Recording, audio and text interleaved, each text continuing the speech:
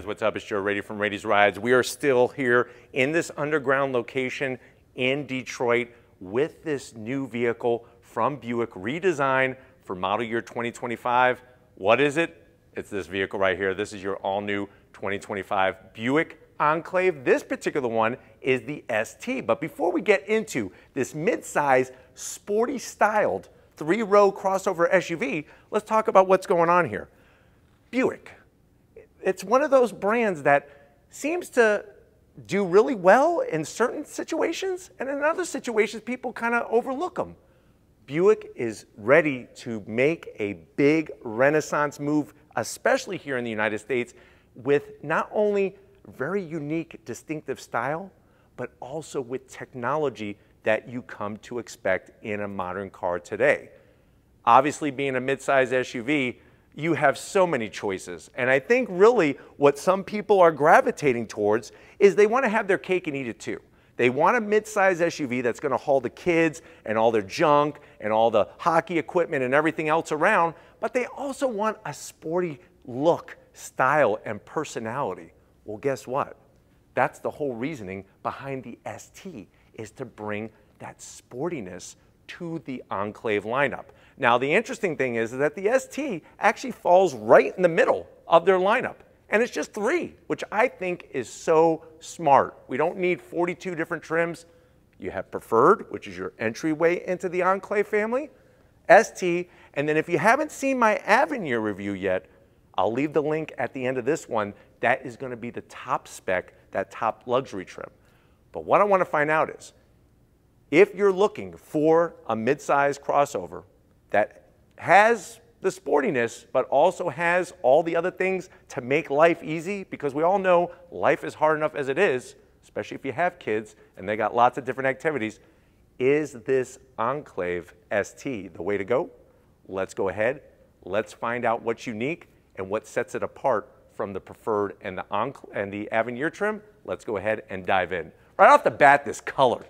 I'm not really a red guy on SUVs, but boy, oh boy, I hope one of these days soon they take it from this underground studio and bring it outside because I really feel like this is going to sparkle like a ruby. Definitely good color choice on this ST. Now, sporty style. A lot of times when it comes to design, lighting can really make a big difference. And one of the things you'll notice is that very similar style of lighting with your daytime running lamp and then of course your headlights down in this lower corner, just like you find in all of the other redone Buick vehicles, including that new Envista that we did, I want to say it was like about a year ago, maybe a year and a half ago now. That is the entryway into the Buick family. Now, as we work our way down, when you go ST, you're getting some black accents. Really helps differentiate this from the Avenir because all this black trim on the Avenir is shiny chrome style finish. Love the way they did this check mark, gloss black, nothing too crazy.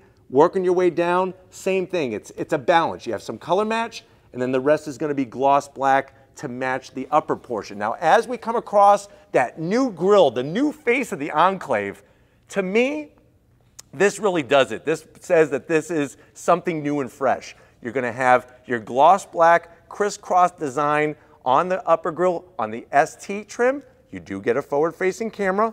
Even this lower portion here, the way they brought that up, very nice, aggressive look without going too crazy. And then on the bottom portion, you do have functional lower venting as well. One way to tell, if you want to cheat, if that this is an ST, and I know Steven just set himself in perfect position, is going to be right here. So all the way on the driver's side of the grill is the ST badge. That lets you know that that is that mid sporty trim. Now when it comes to the nose of the vehicle, like I said in the Avenir video, this Enclave is wider, it's longer, and it's taller. One of the other things that I didn't really point out in the other review, look at the body lines. Look at the, the gaps. Remember, this is a pre-production, but yet we're still seeing amazing gaps that shows that attention to detail. So it's not just the detail they put in the design, but also the fit and finish, which I think is going to be a game changer for Buick. We have the updated Buick badge, simple, clean, modern, and then with the hood, I just, I, I think it was smart the way they gave it some character. A lot of brands are just going like flat straight across. This, you have the nice large dip in the center, and then the two portions, two other portions on the outer edge, give it a nice distinct style. And like I said, it's about looking like the other members in the family of the Buick lineup. Now, as we come around the bend, when you go ST, you're getting a specific wheel and tire package. These are the wheels specific to the ST. So you got a 20 inch wheel, machined aluminum, gloss black accents. I like the way that it's got like a little bit of a rotating motion to it, even though it's sitting here still. And then if you're wondering, well, Joe, what is the size of the tire? 255 on the width and a 55 series sidewall but those are the wheels specific to the ST. The other thing that you'll notice, no flat black on the ST trim. What they did was they took the gloss black from the front, wrapped it around the side, and then brought it around the fender openings. Gives it a nice, modern, classy, but also sporty look. Now coming down the side of the vehicle, you're gonna get gloss black on the mirror caps, LED turn signals. We got 360 degree cameras. Down below, you do have another ST badge on the side, just like we had up front. And then from the side of the vehicle, I'm glad to see, you know, some people were saying, it, it's funny when you go through the interwebs and people say that they know what, what is coming down the pipeline. Many people said that the Enclave was going to get smaller. But in reality, it actually got a little bit larger. And I think that was a smart move considering what's happening in the mid-size segment where you're getting a lot of these brands creating these long versions of the same vehicle. Well, with this, they don't have to worry about that. It's just already longer, wider, and taller for very good reasons. Up top, we have those roof rails, gloss black to match all the other trim. And that's the thing, same story around the window openings. All the same trim to give it that nice, modern, sporty look. They even went solid. I'm glad that they did this. They went solid body color on the door handles. On the Avenir, it's a, it's a little bit different. It's got chrome on it. So that's another nice little touch on the ST. Working our way towards the rear, what's great about this crossover is that you could get it front wheel drive or all wheel drive. And then coming towards the rear, very, very nice design on this rear quarter panel and how the rear pillar flows into the back of the vehicle. And then really, I think just like up front, how I love the lighting, same story on the rear of the vehicle as well. You'll notice full LED lighting, and I like the way they went super thin. It's not really big and bulbous and looks dated. This is gonna look very modern, I feel, for quite some time.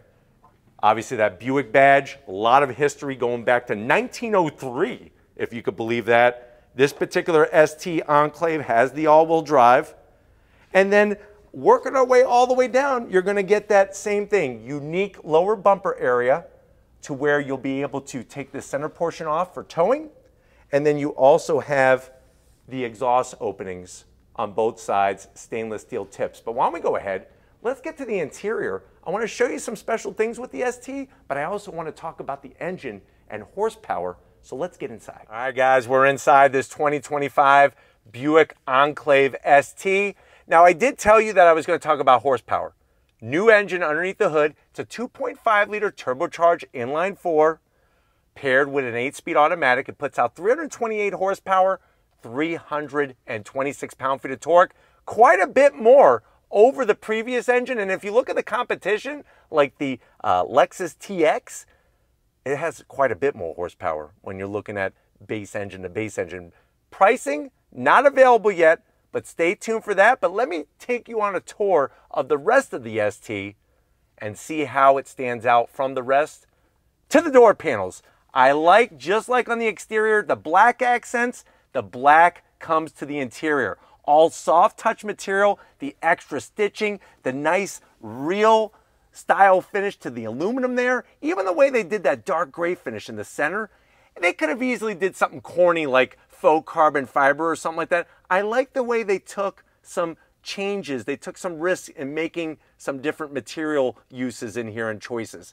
Even on the armrest, the stitching, nice and soft. This has silver finish rather than the bronze copper from the Avenir. Door pocket is big enough for a couple Detroit hot dogs and a soda to wash it down. And we have the Bose sound system, which you're still going to get 12 speakers with the Bose coming from the door panel to the dash. Same story. that great finish, soft touch material, the stitching, both at the top and on the bottom. And then we have that all new 30 inches of screen, uninterrupted screen. Not only is it on the Enclave, but it's also in the new Envision as well. Can't show you all the features and functions yet, but stay tuned. We will be bringing you that. I promise you that. You got the toggle switches. I like the way they did the AC vents. You actually have a USB-C and a USB-A up top. That bridge style, floating style of, an, of a center console, wireless charging, real volume knob, a place for your Tic Tacs, two cup holders, and then down below, you got a 12 volt, and you have enough room where if you were at that last Detroit Lions game last last year, that end off of the season, you could put that signed football perfectly in that lower area and cherish it all the time. Now, of course, you have the soft material on the armrest with the stitching. Lift it up. You do have plenty of room in here. You could easily go to uh, Dunkin' Donuts and get six, seven donuts in there, no problem. And you're not going to get any glaze anywhere. Seats, the ST embroidery. Love the way they did the perforated design, the piping, full electric assist for the passenger, full electric assist, of course, for the driver. And then the seats are going to be heated, ventilated, the whole shabam. Up top, you have a panoramic sunroof. And then you have that all new space to be living in in your Enclave. But why don't you come over to the business end? I want to show you behind the new wheel in this Enclave ST. All right, guys, business time behind the wheel. You are going to get two memory seat settings for the driver's seat. Seat controls are within fingertip reach. And then, of course, like I said, you have all that extra room. I really like the way the seats are very supportive, but they're also comfortable, but they don't feel like you're sitting on a beanbag chair. I like that with this vehicle. Supportive and comfortable without feeling like a beanbag chair. Steering wheel, all new for 2025. Really went sporty with this wheel. Same wheel that you find in the other trims, but with one big difference. This has the black leather, flat bottom steering wheel, and you have the availability. This is the first Buick ever to have GM Super Cruise, that autonomous driving, flat black on the switchgear with your heated steering wheel, a little bit of silver on your mode selector buttons. You do have paddles to go up and down that eight speed automatic transmission. And this is a manual tilting and telescoping steering wheel. And then, like I said, the 30 inches of uninterrupted screen, which I can't wait to show you more of that. But let's get into the mid row and the third row and see what's different with this with this enclave. All right, guys, mid row and third row. I'm going to show you how easy it is to actually move this mid-row seat. But before we do that, let me show you some of the special touches. ST embroidery in the back here of the headrest. You do have all the stitching, the piping, which is wonderful. These seats do slide and they do recline. And then you are gonna get that nice dark leather material on the backside, large pockets for a couple personal pan pizzas. Get them in there. Hopefully you've been reading your books for your uh, read it setup for with uh, Pizza Hut. And then of course you have your two cup holders, your rear AC controls, two USB-Cs, a home power source, and a place for one of those pickles in a bag that you get at your local 7-Eleven or your local gas station. And then here's how you move the seat. Well, first of all, we got the panoramic sunroof. That's phenomenal. You got your AC vents up top. There's a button. Let me see if I can feel it just by touch. Ooh, I found it. Look at that. Nice power release. That's going to bring you into the third row. And if you want to see me sitting in the third row, watch the Avenir review because I actually got into the third row. You're going to be surprised, but it's nice to see plenty of room. Let's go ahead though. Let's get into the cargo area and see how much room there is in this Enclave. All right, guys, time to get in the cargo area. Now, like I showed you on the Enclave Avenir video, if you haven't seen that one, I'll leave it at the end of this one. You could just have the easy all-new walk-up feature, key fob in your pocket, don't even have to do a thing.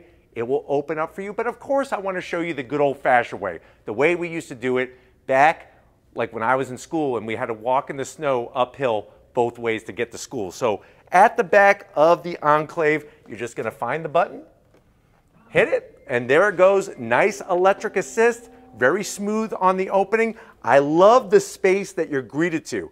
Quite a bit of room. I can't wait to get the official numbers from Buick because I think a lot of people, including myself, are going to be shocked at how much room there is with the third row up. On the, on the passenger side, you'll notice a plethora of buttons. So you have now those power folding rear seats, which obviously there's not power coming to this vehicle, but these will fold down that 60-40 split. And if you want to see them in motion, watch the Avenir video because that is where we were able to fold down the seats.